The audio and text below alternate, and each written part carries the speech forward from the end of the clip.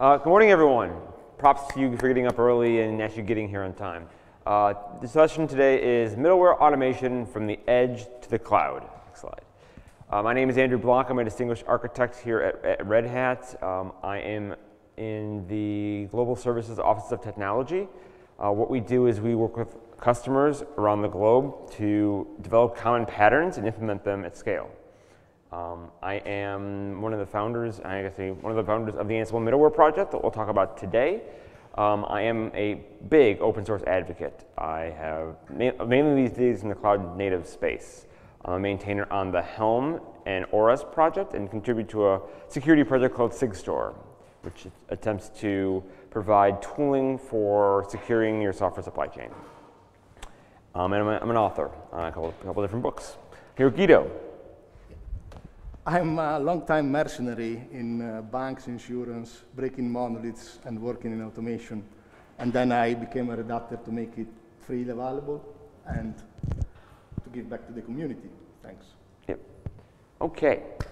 So, as some of us have already discussed this morning, we're starting to see applications run in many, many different places. We've been running in the public cloud for a number of years, but another trend that was starting to come more recently is running applications at the edge.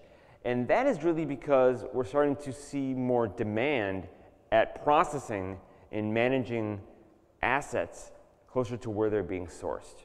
So look at when we got on the bus today or the tram. You went ahead and you scanned your phone maybe, you paid. That is another edge device that is currently running out in the field.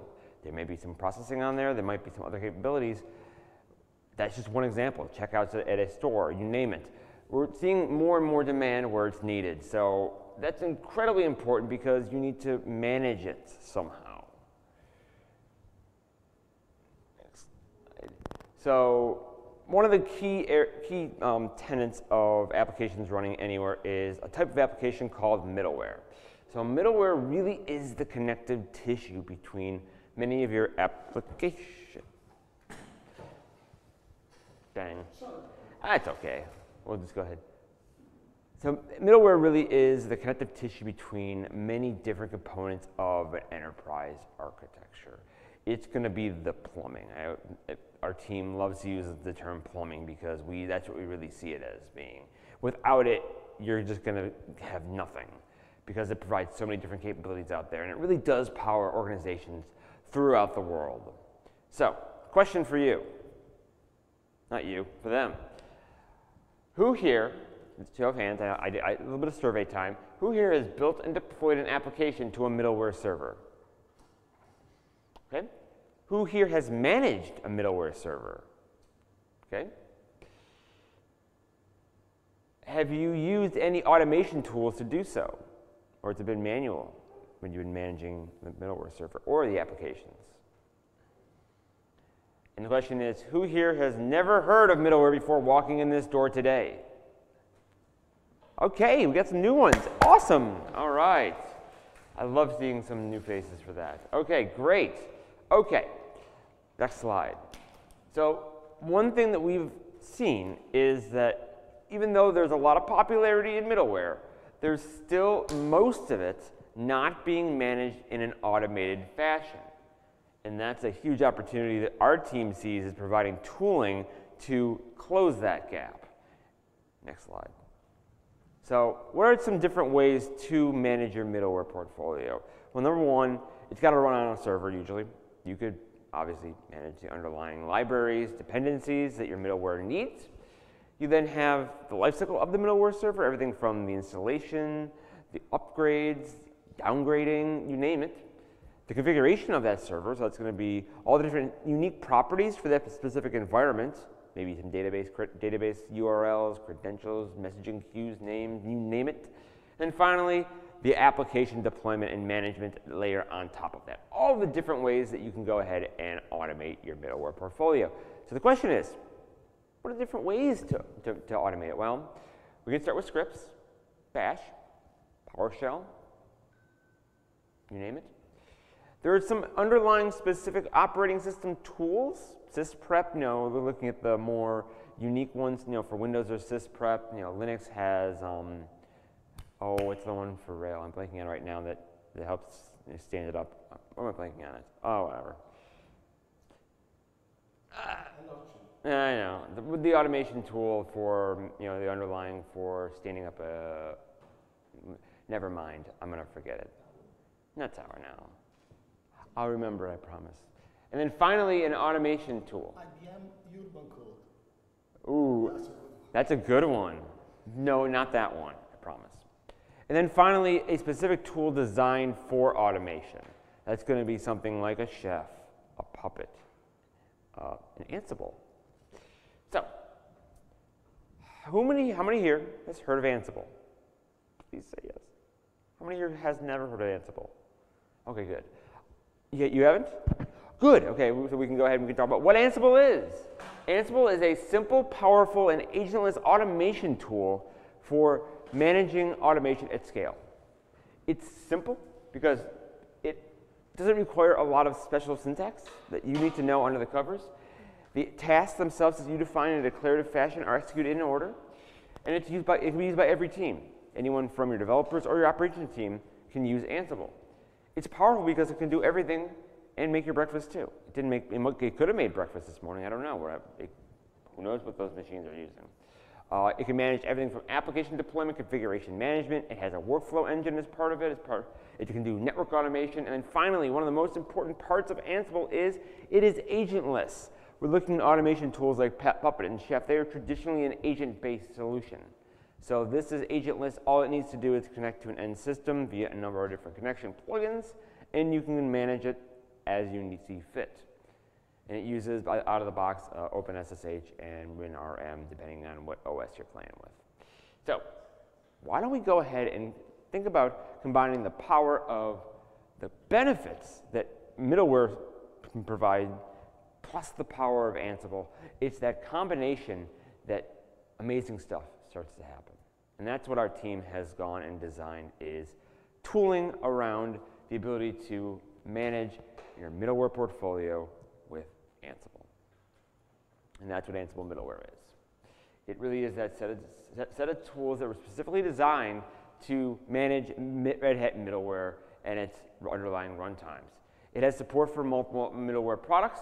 It is configurable. This is one of the best parts about it is that every organization and every use case is different. There are a million, quite a number of different ways that you can configure it, would you say? Oh, well, that's going to be a big number because it's the factorial of a declarative uh, list of tasks. That's true. So, Quite a large number. well, it's still smaller the outcome of expected bugs if you compare it to code, That's true. which would be in a script. Yeah. And then finally, this, this framework, Ansible middleware, is built and by built and run by a team that has not only engineered Red Hat, Red Hat runtimes in the past and current, but also those who have delivered it at customers globally. So you basically have a combination of the two of us. He builds it, I work with customers to roll it out at scale. So this is how easy it is. Simple, easy as pie. This is how easy and all it takes really to deploy a JBoss enterprise application platform server. It's simple. Was it 14 lines, Guido? Then we, then we got on 14 lines of configuration. It's a little more you have to configure in the back end, but still a lot easier than the thousands and thousands of lines of bash scripting you may have done in the past or currently are doing today. It is because we don't follow the practice of pushing out products with basic defaults. We use opinionated defaults, which provide a production-ready enterprise-grade deployment, even if you do not have the right configuration. Of course, it, op- it is opinionated, so it doesn't work 100% of the times, and that's why you can override with your environment configuration. Yep. As easy as that. So what are some of the benefits? Oh, Ansible middleware. You have that consistent deployment to be able to manage and, ma- and, and manage and scale your applications as you see fit. Right once deploy anywhere without manual intervention. We talked about being able to manage different systems at the cloud or the edge. You can go ahead and use the same baseline configuration and then have specific environment overrides that can make it so it's speed defined and used in these different environments. Maybe you want to specify your JVM with a smaller you know, uh, heap size in certain environments, or you have a different profile you want to go ahead and run out. Those can be um, overridden per environment. You can use the power of Ansible Automation Platform to then be able to then orchestrate at scale. We'll talk a little bit, about, a little bit more about how you can integrate Ansible Automation Platform into this entire ecosystem. Has seamless integration for upgrades, downgrades, install, um, uh, uninstall, configuration management, scaling, and more. And then obviously you can save time by reducing the manual errors that you would have by using other more traditional based, based approaches. So what kind of different technologies do we support? Well, think about all the different type of middleware that's out there. We have everything from a, managing a web server, an enterprise, to then manage systems that manage enterprise applications, to messaging, caching, identity. All these different um, capabilities and technologies are available to be managed via Ansible middleware. So, what does that translate to into projects in the upstream community? So, for web, we have Tomcat. Um, in, for more enterprise application, you have Wildfly as your application server. If you want to go more towards the caching set of things, you go ahead and use Infinispan. Identity with Keycloak, one of the newest CNCF sandbox projects. And then finally, if you're looking on the messaging side, there are two, two flavors of messaging that we support. Uh, traditional JMS brokers with ActiveMQ and um, uh, Apache, uh, Apache Kafka for the streaming Kafka-based approach. But Guido and I are both working for Red Hat. We also support the enterprise version behind all these products projects. So if you're looking on the Red Hat supported side of things, you have everything from the website, which is JBoss Web Server, JBoss Enterprise Application Platform, Red Hat Single Sign-On, Red Hat Data Grid, and then finally the two different flavors of Red Hat AMQ, Broker and Streams. So this is basically a nice little technology project product um, chart. Just kind of talks about all the different components that our team currently looks at um, managing and providing solutions for. So, we do take a very community first driven approach. We're here at a community conference. So we want to hear from the community, we want to work with the community. So we're not running in a silo. We have everything out there in the open. We have everything from our source code repositories, which allow you to not only look at the code that we have available for our automation solution, but contribute. We have a consumable, so it's widely available and open for that one touch, one click installation. That 11 lines of Jinja or of, of um, YAML yeah, you really don't need much more than the primitives that are provided by Ansible out of the box. There's no additional components aside from Ansible core. Then finally, we want to hear from the community on the roadmap. So we want to hear feature enhancements, bugs. So we want to gain those and get that information out there. So we really want to hear from you what's working well, what's not working well for the, the solutions that we're putting together. So how do you get started with Ansible middleware? First, start with the source. Because how many of us here are developers, or at least, you know, say we're developers? How many of you probably would have gone to Git, if I were to put a GitHub link out here, how many of you would have either gone to GitHub right after this talk, or since we're all on our mobile devices right now, you might have actually gone to it right now? Raise your hand if you would have potentially done that. So start with the, start with the source first. We have all of our Ansible automation content collections, our documentation, our demos, labs, and feature requests all on GitHub in the GitHub organization and Ansible Dash middleware. That is the first place I always tell people to look if you are more of a coder.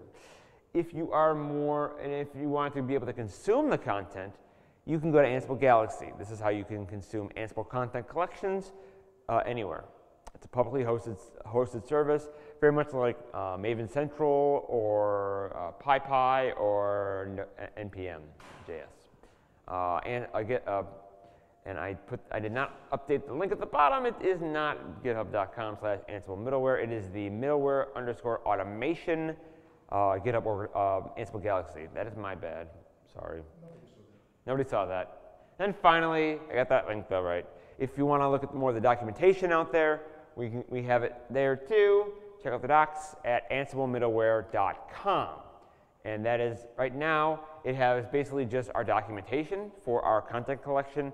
We are relaunching the, the new website uh, in the next month or two, which is going to be totally refreshed, rebranded, and have a nice look and feel. So you will want to check it out as the project continues to evolve. All right. And of course, try to demo. We have a number of different demos out there that you can look at leveraging.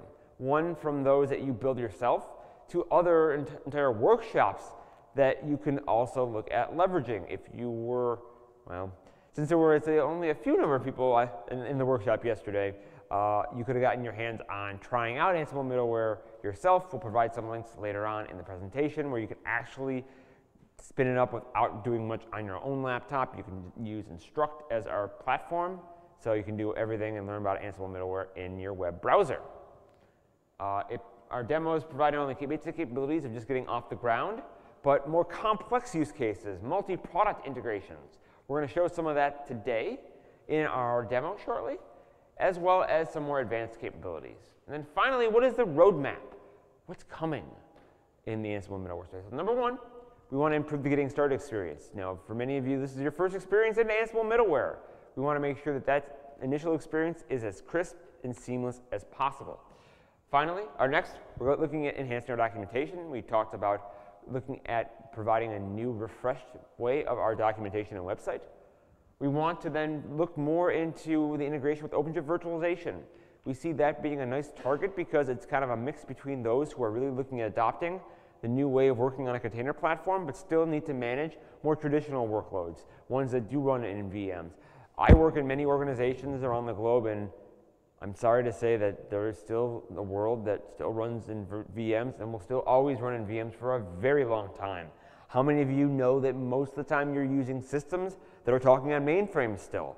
Most of, the, most of us took a train or plane today. It's a good chance that all those back-end ticketing systems are running on mainframe still or at least parts of it. I definitely know that Amadeus, that it runs most of the airlines out here in Europe, is running on mainframe still. A few weeks ago, I had to patch OpenSSH to be able to use Ansible against the AIX in a bank, just to make an example of that. Isn't that fun? It's so there. And finally, since we do focus very much on our Red Hat customers, we want to ensure that we have a great Red Hat customer experience for those who are looking at getting support at scale in an enterprise um, supported way. So looking at providing certified and supported content for all the different distribution channels that we look at providing. Okay, I'm turning this over to Guido. I, have talked enough. Now, I know Guido. Oh, you're gonna, okay, want me to demo? Okay. He's just gonna do the, do the demo, I guess. Okay, we're gonna go ahead and we're gonna show Ansible and Red Hat middleware in the wild with a very complex demo. We want we're to show how we can push technologies to the edge by using a multi-product use case to, avail, to make and define highly available environments. We're to go ahead and spin this up in multiple clouds in the public cloud. We, we, we decided to not go ahead and you know, you know, tempt our luck and do cloud and edge for this demo because you never know with, with things. So we, this is just a multi-cloud demo. We're going to use Ansible Automation Platform to be able to roll this out at scale. And most importantly, while yes, we've got the initial installation and configuration, but after it's already running, how do you know it's still running? How do you know it's still maintainable? Well, guess what? Fully observable as well. So we use a lot of um, monitoring and observability tools to show you how you can then not only stand that up, but use our tools to be able to manage and monitor itself. And finally, every environment that we are deploying is going to look at the following. So we consist of an intelligent load balancer based on JBoss, uh, JBCS. What does that stand for? JBoss Core Services. JBoss Core Services. Wow, there we go. See? JBoss Core Services.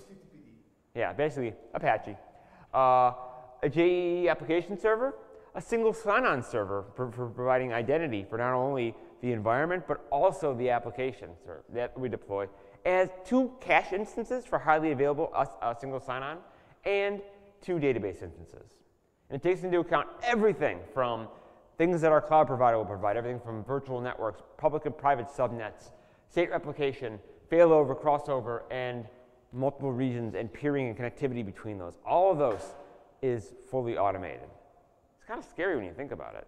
That's one of some of the power of Ansible that it can provide.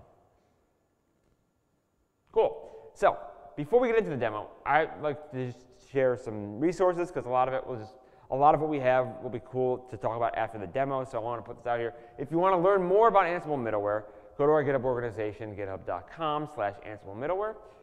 Go to Ansible Galaxy, where you can look at our Ansible content collections. This is the correct link for that. So if you want to jot that down from the link from before, you can do that. We have the Ansible middleware website, ansiblemiddleware.com. Our Red Hat certified content collections are on Automation Hub. And um, finally, if you want to get in touch with us, ansible-middleware-core at redhat.com. Guido, it's time. It's your time to shine. Time for the demo. Yeah. Let's go back to this a second.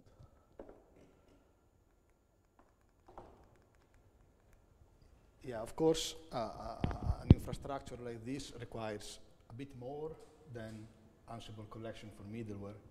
So in, in this case, we are using managed resources in AWS and in Azure.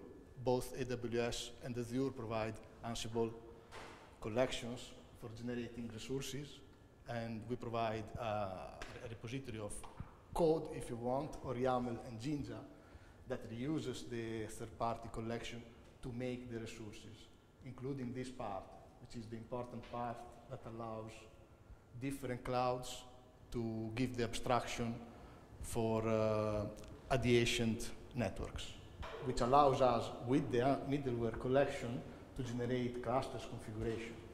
Like this uh, caching service is composed by a cluster in a region, another cluster in another region of the same cloud, another cluster in a, a first region of Azure, and another cluster in the fourth region. And then all together they form an additional cluster on top of that, the configuration of which is fully controlled by the variable you provide as parameters to the data grid collection and the host names you use to run Ansible against it. And I will show you quickly how it works.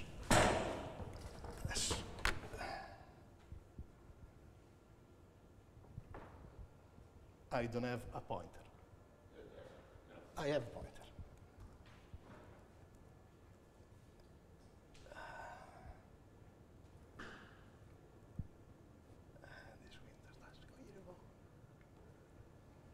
Okay. So this is an instance of Ansible Automation Platform Controller, which is a, a product of Red Hat, which gives an abstraction wrapping up uh, the Ansible uh, command line. It's both an API and a web UI. In the first case, it allows to integrate uh, Ansible as a process in a pipeline or in a workflow, so it can be an integral part of every CI/CD you might have, and can turn to be useful both for testing and also for staging and deploying production environments. And it also provides an UI which makes uh, the first deployment more comfortable, in particular for people that are not so comfortable on the command line.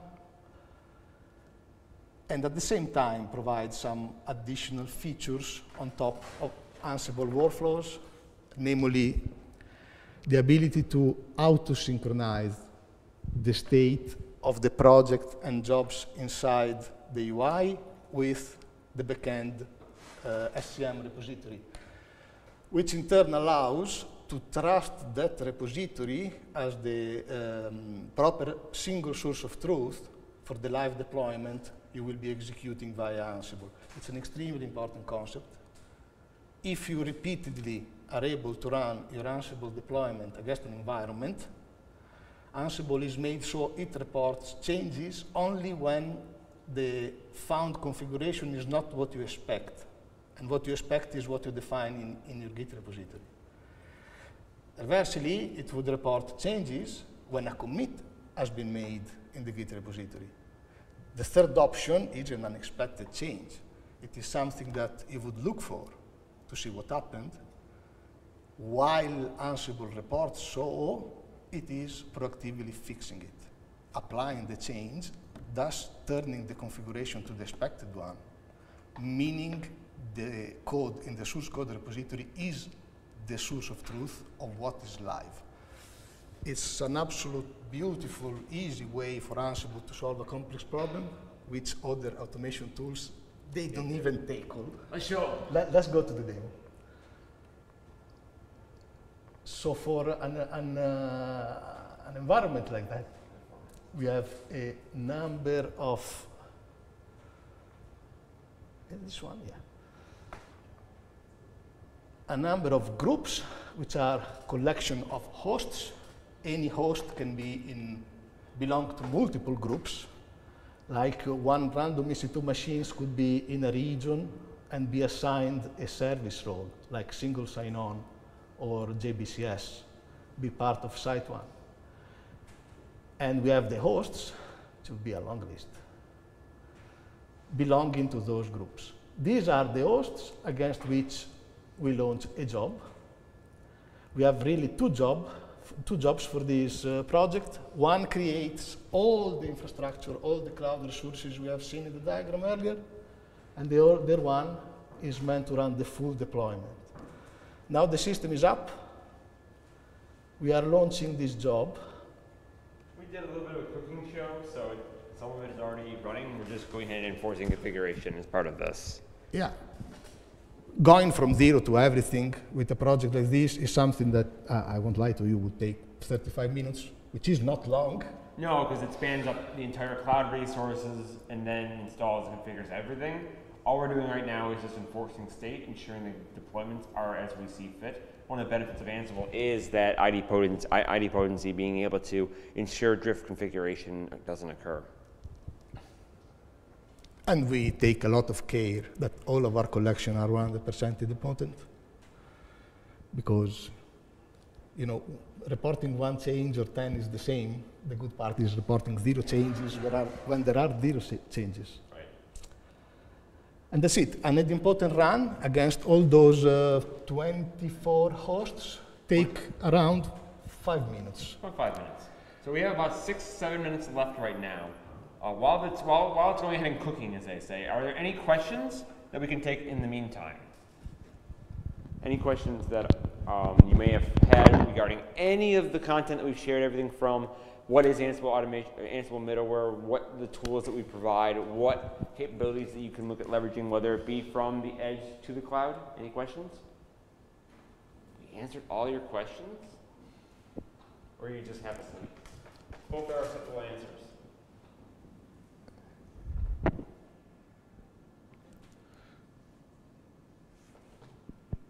that's going. If you are aware of the Instruqt Uh, tool, we have a workshop available that allows people to experiment with the Ansible collections. You can get your hands on this without even having to install anything on your laptop. So you get your own Ansible automation platform, you get everything stood up, resources. You basically get to learn how to do a demo similar to this, but mm, see how you can take the, the role of being not only an administrator of this tool, but also a developer. So you actually get your hands on playing in Visual Studio Code and committing and managing and, mo and modifying content. So you get a full hands-on experience of learning not only what Ansible middleware can provide, but some of the different ways you can look at configuring it. Uh, and it is worth mentioning validated content we are working with a validated content team so that a, a consumer of our middleware collection will be turned in another collection and provide a pre-baked uh, good scenario installation for, for instance, services like single sign-on or caching. Yeah, so the validated content team under the un, under the middle the pardon me the Ansible business unit is looking at providing more validated and not uh, just certified. I wouldn't say it's. I think it's certainly certified from their team. Uh, different demonstrations and use cases that has no, been known to have gone through the rigor of Red Hat testing and conformance. And the good news is this is almost done. In the four minutes, we can do it. Yeah, but close. Almost, almost. While it's doing that, you want to just kind of just show the configurations inside an automation platform? Yeah, well, on EAP, right here, see it's downloading, it, it, download the patch version 749 to apply to EAP. Actually, it doesn't because it's already patched. And the patch is already there. It does some checking to understand what is available, and it also calls the clean to see what. We also one of the one of the cool things that our team did is partner with different uh, teams within Red Hat to establish a new API for downloading content from the Red Hat Customer Portal. Uh, downloading content from middleware runtimes had been very challenging in the past. There's now a fully available API that you can not only query for available versions but also download content directly. So it's really cool. Uh, now using more SSL-based flows. Wanted to mention that the reason for which it installs at least version 749 in, uh, in EAP, it's because that version has a nice technology preview feature, which is the YAML configuration extension, which allows to provide uh, declarative configuration to the bootstrap phase of JBoss, turning JBoss, JBoss into something configurable Yeah, before JBoss configuration was a little more manual. You could script it up to an extent, but now, as Guido mentioned, the YAML configuration and tech preview, you can do so in more of a declarative fashion. So it aligns up very nicely with what our team tooling and automation provides. So basically, you don't need to query the state at runtime of JBoss to check its configuration. It You can move that in the bootstrap phase. Of course, then you don't use the CLI much anymore. It's a good thing. It's a very good thing because you can trust what is the configuration without checking it. CLI the No, CLI is Remember good. the Schrödinger cut. the um the um the CLI is good for like runtime configuration. Please, Um, are we able to see the application is to, to roll out? It did. Great. As you see there, we are successful. Let's go and pop up the application. You know, can we do that? Let's show them something in the two minutes.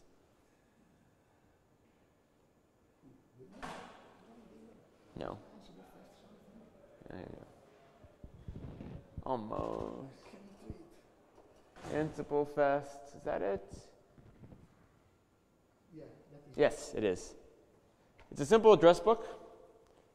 All, the, all integrated with single sign-on when we established it via Ansible automation. And all we need to do is use flange user. We have a bit of a joke. Remember, Ansible, Ansible middleware is helping address the plumbing of your middleware portfolio. So we have that. It then goes ahead and validates the user against it. The automation stood up the Keycloak extension for JBoss EAP, so you can now integrate single sign-on into your applications, and we're able to manage that. This is once again highly available, highly scalable. So if we decided to kick off one of our regions, which we've done in the past, it still works. Let's go through it because we have, we, have, we, have, we have these two minutes. So what we did, opening that page, is doing a query to the Route 53 uh, DNS of AWS, being uh, latency checked to see which region is the closest to us. To us. The DNS forwarded us to the closer geographically uh, HTTPD, which reverse proxied our, our request to EAP, which has a WAR file deployed in it, which is configured for single sign-on. So we were redirected in the browser to single sign-on, which has a database down here in this cluster, picks our user, validates our authentication. We are redirected back to EAP, and we see the HTML page. For a simple HTML page, there's a lot that we're, we're now. Out under the covers, and that's just all automated through the power of Ansible middleware. We thank you all for joining us this morning. I know it's always hard getting up for the first session after the party, but thank you very much. I appreciate it. And we're here to answer any questions that you have. Thanks, everyone.